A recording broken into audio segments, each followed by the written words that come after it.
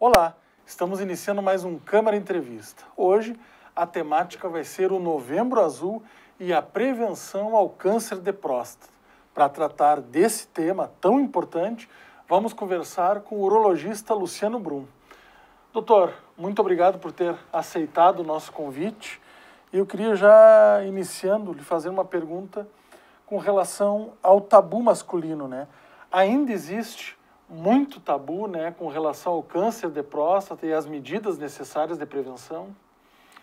Bom, Matheus, muito obrigado pelo convite, muito obrigado ao Jorge também, que me convidou com convite para vir participar do programa da TV Câmara.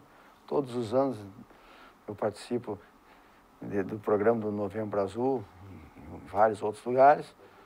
É, agradeço a oportunidade de poder explicar um pouco para a população coisas de interesse. Uhum. Bom, em relação à tua pergunta sobre preconceito, já existiu mais, Matheus, já existiu bem mais. Uh, vamos fazer uma retrospectiva de 30 anos para cá, a gente pode dizer com muita tranquilidade que está tá evoluindo positivamente, os homens estão procurando mais espontaneamente, ou mais espontaneamente o, o a procura do urologista para prevenção do câncer de próstata. Muitas vezes a própria esposa que, que impulsiona isso, mas a gente notou que já diminuiu bastante. Ainda existe, principalmente no que se refere não ao, fato de ir ao urologista, mas principalmente o fato de fazer o exame da próstata. Porque se baseia muito simplesmente pedir só o, o exame do PSA, que é, um, que é o exame, é exame, de é, sangue, que, que Nada mais é que uma proteína que existe dentro da, da próstata, que quando existe alguma doença na próstata, câncer é uma delas, o PSA está elevado. Mas nem sempre o PSA elevado significa câncer de próstata, nem sempre um PSA baixo significa que não tem nada. Tem que ter critérios. Por isso, a, por isso é importante a avaliação completa do, do paciente que se refere à, próstata. Não simplesmente só pedir o exame de, de sangue, o PSA, mas fazer o, é, fazer de uma forma periódica o exame o toque retal uhum. e outros exames quando se tornam necessários. O senhor mencionou agora nessa resposta que muitas vezes as esposas né, impulsionam que os seus maridos, né, os homens, façam essa primeira consulta né, para fazer uma prevenção. A mulher, né, acho que já por, por, por já ter na sua cultura de, de, de fazer exames mais periodicamente, acaba impulsionando muito os seus maridos para fazer o, esse primeiro contato com a clínica, por exemplo, ou Nossa. com o sistema de saúde? Não, sem dúvida nenhuma, sem dúvida nenhuma. As, as esposas são, são muito responsáveis nesse aspecto de preocupação com a saúde da família, do, do, do seu esposo, principalmente, e elas realmente são uma impulsionadoras de fazer os, os homens irem procurar esse recurso. É muito comum isso. Doutor, e quando, por exemplo, um homem que tem um pouco de preconceito de fazer o exame né, do toque retal, né, que acaba sendo mais fidedigno, pelo que o senhor falou, né, muitas vezes, depois que ele faz o exame, ele tem esse primeiro contato, a cabeça muda um pouco, ele perde um pouco do preconceito? Como é que é, o senhor nota isso? Sem dúvida nenhuma, né? É, vamos dizer assim, um, um parênteses antes.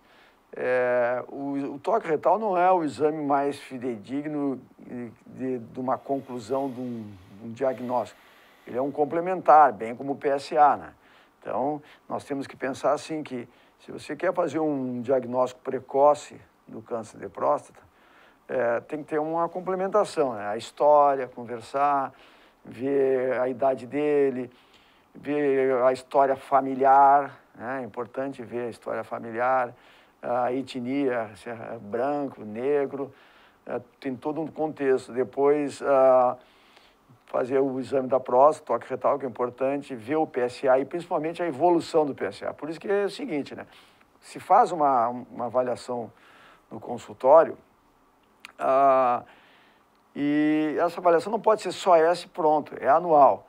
E respondendo a tua pergunta, depois que se faz a primeira consulta com o paciente, ele faz, ele se dispõe a aceitar fazer o, fazer o exame da próstata, é, a gente vê que na grande maioria das vezes, no ano seguinte ele está voltando ao consultório, se, se for necessário ele faz outro exame de próstata, a aceitação fica muito mais fácil. Uhum.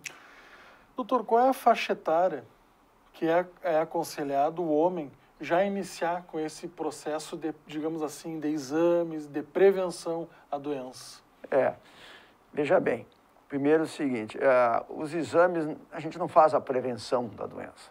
A doença, para te fazer uma prevenção da doença, teria que descobrir a causa dela e eliminar lá atrás. Né? A gente não sabe. O que a gente faz é, é um, a, é, a prevenção, na verdade, é um diagnóstico precoce do câncer de próstata. E qual é os critérios que a gente usa? Esses critérios que se usa são critérios assim aceitos pela Sociedade Brasileira de Urologia, pela urologia mundial, né? Todo mundo. É, não, não há evidências que, com, que, que comprove, que, que, que, que, que deem suporte para te fazer a avaliação de um homem antes dos 40 anos, salvo muitas exceções. Então, o que a gente recomenda? Quem tem história familiar, teve o pai, o tio, o irmão com câncer de próstata, que a gente recomenda que a partir dos 45 ou 48 anos de idade, nessa faixa, comece a fazer a primeira avaliação. Não tem, não tem fatores de risco, como, como história familiar, raça negra. Pode começar as suas avaliações a partir dos 50 anos, tranquilamente, anuais, sempre. Uhum. A questão da etnia, né? Existe uma uma propensão maior, por exemplo, sim. conforme a etnia? Sim, sim. Tem, isso são estudos feitos em trabalhos de centenas, de milhares de pacientes, que chegou à conclusão que os pacientes de raça negra têm duas a três vezes uma, uma, uma possibilidade maior de ter câncer de próstata. Uhum. Quais são os principais sintomas, assim, para o telespectador que nos acompanha, doutor, de repente, quais são os principais sintomas? Como o homem pode detectar, de repente, no início a doença? Né? É, veja bem, isso é, isso, é, isso é uma coisa interessante, um, um, um tópico muito importante da gente abordar. Câncer de próstata é prevenção. Quer dizer, o que significa prevenção? Chegar antes de qualquer sintoma. Isso é prevenção. Câncer com sintoma é um câncer adiantado. Então, esperar sintomas nunca. Prevenção significa fazer diagnóstico precoce sem esperar manifestações clínicas e sintomáticas e físicas. Né? Então, isso é importante. Não esqueçam, não, não esperam sintomas. Existem os sintomas do câncer de próstata que às vezes se confundem com os sintomas da hiperplasia prostática benigna, que é bem mais comum, que os homens a partir de 50 anos começam a apresentar até antes, mas os sintomas começam a apresentar a partir dos 50 anos na, na, de, forma geral, que são os sintomas de obstrução prostática benigna, hiperplasia prostática benigna, são situações diferentes. E aqueles sintomas que começam a notar uma, uma necessidade de, de ir mais rápido no banheiro, sentir uma urgência, começa a levantar à noite, antes era uma vez, agora é duas, antes não era nenhuma vez, agora é uma, começa a notar assim que tem um certo desconforto para urinar, está diminuindo um pouco a força do jato, que está demorando um pouco. São sintomas de doença benigna, que também pode se manifestar na doença maligna. Às vezes tem as duas coisas. Muitas vezes tu tem o sintoma de uma doença benigna e por acaso está tá se começando a, a iniciar um câncer de próstata, mas o sintoma que quem está dando é, o, é, é a doença benigna. Então, os sintomas não é o motivo de, de, do paciente fazer sua visita ao urologista. Você tem que ir no urologista a partir dos 45, 48 anos, tem fator de risco, a partir dos 50, independente dos sintomas. Isso é para diagnóstico, isso é para diagnóstico precoce do câncer de próstata. Uhum. Tem uma idade, doutor, que de, é, a doença costuma se manifestar com maior frequência, por exemplo, a partir dos 60 anos? É, exatamente. A, a, maior incidência e, e, logo a, a, prevalência do câncer de próstata ela começa a partir dos 60 anos, né? a maior incidência. Mas é, é a partir de 45, 48, 50 anos já temos vários pacientes relatados com câncer de próstata. A maior incidência seria nessa, na sexta década, né? Dos, a partir dos 60 aos 70 anos, onde está tá concentrado maior, maior prevalência, maior que a gente observa que é o aparecimento dos cânceres de próstata. Doutor, então como o senhor falou recentemente, né, a prevenção é fazer o exame precoce, né? E Sempre. qual é a periodicidade? É, Anual, é conforme, conforme a situação. De forma geral, é, a gente recomenda uma vez por ano. Salvo algumas exceções que começa a se observar que, que o PSA está tá numa evolução diferente, subiu muito rápido, aí a gente pode encurtar para seis e seis meses. De forma geral, para a população geral, é anual. Hum. E quem tem um histórico familiar, então, só para ratificar, quem ou então um é histórico... da etnia negra, aos 48. É, e talvez nesses pacientes que têm história negra, uma história familiar, a critério do médico, eu pessoalmente faço isso, eu encurto de seis, seis meses, quando tem fator de risco. E depois a gente vê conforme o andamento. Né? Uhum. É, como eu sempre digo meus pacientes, tudo que eu digo para eles vale por seis meses, um ano. Uhum. A validade é de seis meses a um ano, o resto não sei depois para ver a evolução, de se a próstata está crescendo, se o PSA está aumentando uma velocidade maior do que se esperava, né? Uhum. Entendeu? Que é o índice de duplicação de velocidade do PSA. Isso é muito importante. Mais importante, tão importante quanto o, o índice. Uhum. Não, se, não, se, não se fixar no valor. Importante é a evolução dele. A evolução. Doutor, e por exemplo, quem não tem histórico e é, por exemplo, da, da etnia branca, a partir dos 52 anos. 50 é anos. 50 anos. 50 anos a doença, o câncer de próstata, tem cura, né? Como tem é que cura. é o tratamento? O diagnóstico precoce tem cura. O tratamento, ah, veja bem, existe, as, as, coisas estão evoluindo assim muito rápido, né? O, o câncer de próstata é um, é um, câncer que, que tem, tem, tem, tem as suas particularidades e nem todo paciente vai ter a mesma apresentação, a mesma evolução do câncer de próstata, alguns mais agressivos, outros menos...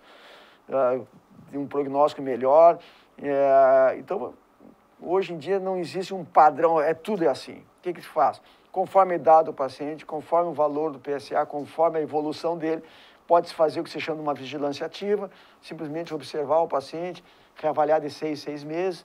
Pode-se optar para, quando se está em dúvida, conforme a situação, fazer a cirurgia, uma prostatectomia radical, uma cirurgia que tem um, um no momento certo, tem um alto, alto índice de cura.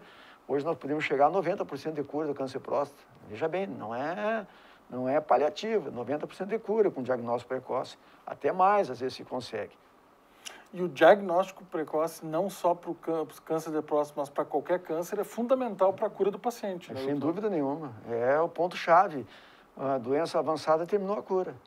Uhum. Aí tudo é paliativo, é resolver é, tratamentos complementares, radioterapia, quimioterapia, para ver se traz um, uma sobrevida, prolonga a sobrevida do paciente com menor comorbidade possível. Como nós falamos no início, né, é, é, é, difícil não fazer esse comparativo né, com as mulheres, inclusive o mês de outubro, né, é, é, um mês de prevenção ao câncer de mama, né, e tem toda uma, como Novembro Azul, toda uma, uma disseminação para a prevenção da doença. No, no, é, com relação ao câncer de próstata, o homem ele tem condições, por exemplo, de fazer um autoexame em casa ou isso não tem como, né? Como não, existe não, com o câncer não, de mama? Não, não, isso aí é, isso aí é, é inviável e absolutamente incompatível. Uhum. Doutor, como o senhor avalia, por exemplo, a campanha do Novembro Azul, né? É, essa campanha vem efetivamente contribuindo para uma disseminação dessa prevenção, né? Como o que pode ser feito a mais para avançar? O que, que o poder público pode também contribuir mais? Sabe que é uma coisa interessante. Não sei se é impressão pessoal minha, mas eu notava que até antes da a pandemia deu uma mudada geral em tudo, né? Até antes da pandemia a gente realmente via um, um aumento maior na procura, assim, em relação a, ao, ao câncer de próstata, à prevenção, nesses meses de novembro. Nesses dois, dois últimos anos, a gente nota que aumenta um pouco a procura. Mas eu notei que esses últimos dois anos diminuiu a procura. Certamente deve ter sido por causa do Covid, né, da pandemia. Uhum. É, eu acho que, eu, eu, na minha opinião, pessoal, eu acho que está acontecendo duas coisas. Uma delas, os homens já estão se conscientizando e estão procurando durante o ano, no decorrer de todo o ano. Tem uma, a gente nota que tem uma, uma procura assim. Eu tenho a impressão que parece que estabilizou parece que não virou mais aquela sensação, não, agora temos que ir, todo mundo tem que ir, todo mundo tem que ir. Eu acho que está evoluindo, talvez de forma mais lenta Nós do que, foi, uma constância. do que foi essa, essa, essas, essas campanhas há 8, 10 anos atrás. Isso aí começou há uns, há uns 15, 20 anos atrás, não me lembro direito, isso começou na Austrália. Se não me engano, foi em 2008, 10, não me lembro direito a data, mas já faz algum tempo. No Brasil começou ali por 2012, eu acho, 2013, por aí, não me lembro direito. E, e foi bastante intensa. Agora tem uma sensação que, que, que acho que normalizou, assim, não está mais aquela procura grande. Eu acho que está tá vendo a conscientização, sim. Mas eu acho que a campanha tem que continuar sempre, porque senão ela esmorece. Veja bem, as mulheres têm consciência do seu problema de câncer de mama e de colo uterino e, e mesmo assim as campanhas continuam. Quer dizer, acho que tem que ser persistente, persistente, senão acaba caindo assim num, num hábito de, de não frequentar mais. Uhum. Doutor, é, qual é o perfil, não sei se tem como dizer isso assim, o perfil do homem que procura o atendimento? Em geral, ele, ele vai mesmo sem ter nenhuma doença ou geralmente quem procura já sentiu algum, algum sintoma, né? Que o senhor até falou que não é o Sim. aconselhável. Né? Não, a, gente, a gente observa as duas situações. A gente tem bastante pacientes, que, bastante homens que, que vão sintomáticos procurar o atendimento, né? Mas também a gente tem uma frequência muito grande de, de homens assim completamente assintomáticos que vão ali para fazer uma revisão. Uhum. Depende também do esclarecimento cultural, do, do, do tempo que ele tem, do, da disponibilidade, da importância que ele dá para isso. Uhum. Doutor, existe alguns números, por exemplo, assim, tem, tem mapeado o número de, de pessoas é, diagnosticadas com a doença aqui em Santa Maria nos últimos anos? Tem Isso uma é, média? É uma boa pergunta. Eu acho que Santa Maria acho que não tem essa, esse mapeamento. Mas eu, eu te digo assim que aproximadamente 5 a 6% da população masculina vai ter câncer de próstata. Os diagnósticos de câncer de próstata no Brasil deve ser uns, em torno de uns 50, 60 mil diagnósticos por ano. Eu não tenho direito a essa informação, mas eu me lembro de ter, de ter lido algum tempo atrás que se faz diagnóstico de 50, 60 mil casos por ano no Brasil. Santa Maria não deve ter analisado isso. É, um, é uma coisa interessante de se fazer mesmo. Uhum. Talvez ali no posto de saúde. É que é, é meio complicado porque o nosso posto de saúde aqui para fazer essa avaliação da prefeitura teria que ter uma teria que ter uma, uma conjunção junto com a universidade, porque nós precisamos da universidade para o pessoal que atende pelo SUS, porque lá que eles fazem as biópsias os diagnósticos. Então nós teríamos que ter essa é, essa, essa, essa informação do, tanto do nosso ambulatório quanto do, do USME, para a gente poder dar essa informação em dados. Eu acho que é uma coisa interessante a pensar, né? levar para levar para a Secretaria de Saúde e ver se conseguimos fazer esse levantamento. O senhor falou na questão da rede né, de saúde, da rede básica de saúde. Hoje, a rede básica de saúde tem estrutura né, para o diagnóstico e para o tratamento da doença? Tem, tem estrutura assim. Uh, nós temos um posto, o posto da, da, prefeitura que atende os pacientes assim da, da, da região, da cidade. E primeiramente eles vão fazer uma, marcam uma consulta, consulta com o urologista, eu sou um deles também tem o doutor Paulo Barcelos.